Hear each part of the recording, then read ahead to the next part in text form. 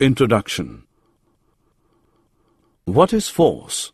What happens when a force is applied to an object? While pushing, pulling, lifting or hitting anything, we are actually changing the motion of an object.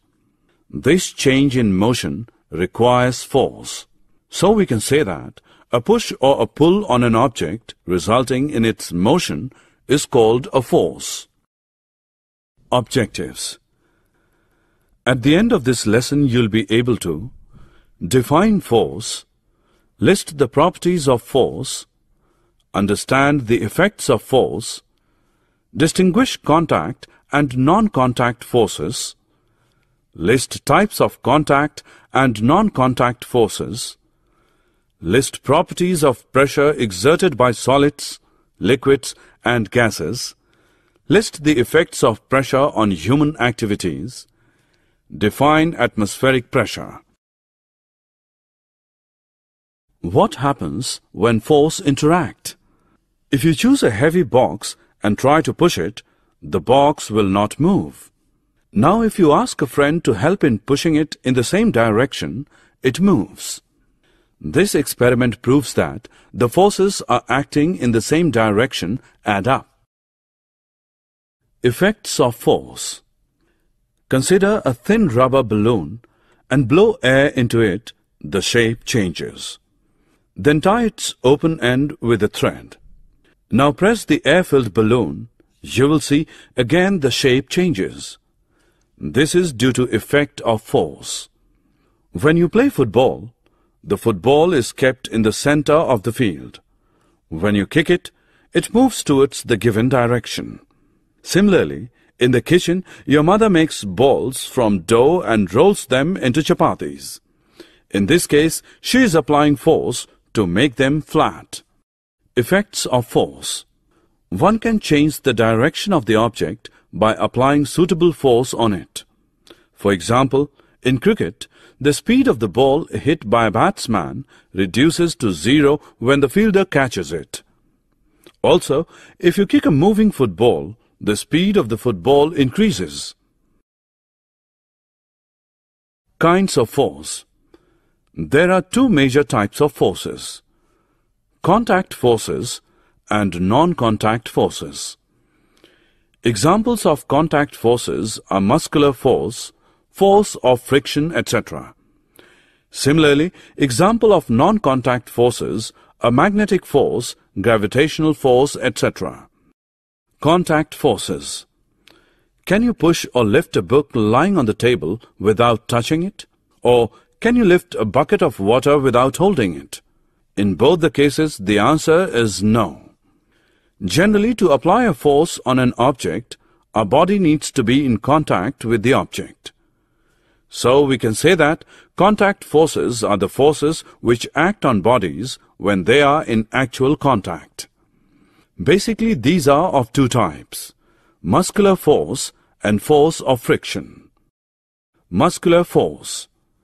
When we push an object such as a box or lift a bucket of water, then the force is caused by the action of muscles in our body.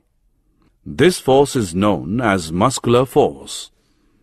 Note that muscular force is always applied either directly through touch or indirectly with the help of a stick or piece of rope. For examples, cutting the vegetable or fruits with the help of knife, hammering of nail with the help of hammer, pulling a cart by horse. Force of friction. Do you know why a heavy box on pushing does not move? why a rolling ball stops after some time. When an object moves in contact with another object, a force known as friction comes into play. Note that the force of friction always acts on all objects and its direction is always opposite to the direction of motion. The moving object in the animation gradually slows down and ultimately stops due to the force of friction. This shows that force of friction always opposes the motion of one body over another body in contact. Types of non-contact forces The types of non-contact forces are gravitational force, magnetic force, and electrostatic force. Do you know why the leaves of fruits fall to the ground when they're detached from the plant? This is because of gravitational force. The force due to Earth's attraction is called the gravitational force. This is an example of non-contact force. Now the force between two magnetic poles placed at a suitable distance is called the magnetic force in which like poles repel while the unlike poles attract each other. A magnet can exert a force on another magnet without being in contact with it. So, the force exerted by a magnet is also an example of non-contact force. Do you know, when we rub a tube through dry cloth and bring it near the thread, the thread is attracted towards the tube. This is because on rubbing the tube through the dry cloth, an electrical charge is generated on the tube. This is called the electrostatic charge. This is also an example of non-contact force. Pressure. Let us perform an activity. Take five wooden boxes of almost the same size. Fill them with scrap iron to make them heavy. Arrange these boxes on a wooden table, placing them side by side. See the impact of the push force from these boxes on the table. You will notice that the table remains normal and it is not affected by the push force, that is, weight of boxes upon it. Now, rearrange these boxes on the same table, placing them towards the center and one over the other. Now see the impact. In this arrangement, the table either bends or breaks under the weight of boxes. Can you guess why does this happen? Though the force applied in both the cases is same, but in the first case, impact is less and in the second, the table bends. This activity proves that both the force and its coverage area are important. The smaller the area on which the force acts, greater is the impact, and this phenomenon is known as pressure. We can also say that pressure is related to the force. Daily life example of pressure. Have you ever noticed that why school bags have white straps? Why sharp knife cuts better as compared to blunt knife? And why the tip of the needle is sharp? In our everyday life, we all experience the impact of pressure. A school bag has white straps so that the weight of the bag may fall over a large area of the shoulders of the child, thus resulting in less pressure on the shoulders. And due to less pressure, it is quite comfortable to carry the heavy school bag. A sharp knife has a very thin edge.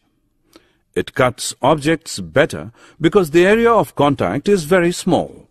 The force of our hand falls over a very small area of the object, producing a large amount of pressure. And this large amount of pressure cuts the object easily. Due to its sharp tip, the needle will put the force on a very small area of the cloth, producing a large pressure sufficient to pierce the cloth being stitched. Do liquid and gases also exert pressure like solids? Do you know what happens when you blow air into a balloon? It exerts pressure in all directions. That's why the balloon increases in size and shows equal enlargement in all directions. The same is also true for the liquid. It also exerts equal pressure in all directions. When a plastic disc is submerged in water, it does not fall down. It is continuously pressed against the glass pipe by the pressure of the water. This implies that the water exerts pressure in all directions. Air and our atmosphere. We know that there is air all around us. This envelope of air around the earth is known as atmosphere.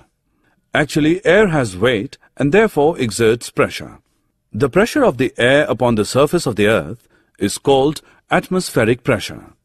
Note that atmospheric pressure decreases as we go up and up. On an average, the weight of air on our head is 1 kilogram per centimeter square. Daily life experience of atmospheric pressure. In our day-to-day activities, we experience various instances of atmospheric pressure. Some common examples are sipping cold drink through a straw, dipping the nozzle of the syringe in the liquid or filling of ink in fountain pens. Do you know what happens when you sip the cold drink? The air pressure inside the straw is reduced and the air pressure on the surface of the drink pushes the drink up into the straw to reach our mouth. In case of a syringe, the doctor dips its nozzle into the liquid and pulls the piston, thereby lowering the air pressure inside the syringe. Another example of ink-filled fountain pens that have rubber tubing, the rubber tube is pressed to push out the air from it, thus reducing air pressure inside the tube.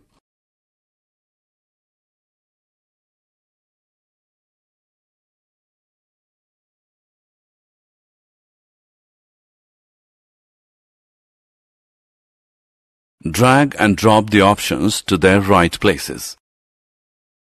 Summary Let us summarize what we have learned.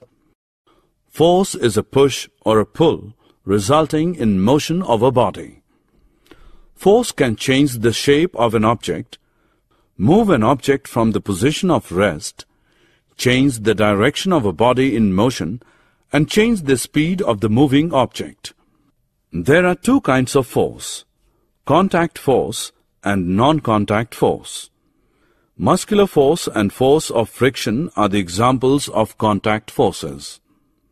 Gravitational force, electrostatic force and magnetic force are the examples of non-contact forces.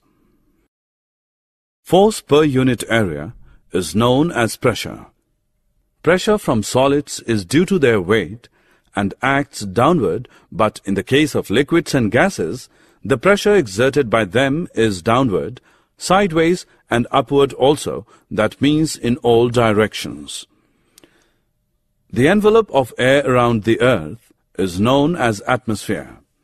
The pressure of the air upon the surface of the earth is called atmospheric pressure.